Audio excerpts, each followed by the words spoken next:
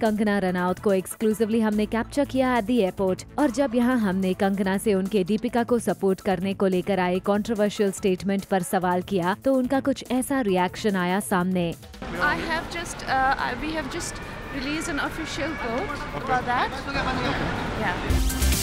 तीस में तीस। Late on the show Akshay Kumar ने क्यों किया एक फ़िल्म से लास्ट मोमेंट पर opt out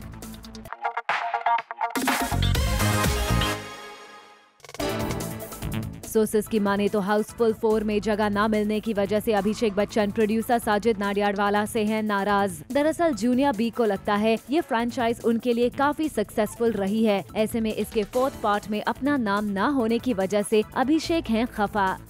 For all the Garma Garam Bollywood gossip news and more, download the Zoom app now.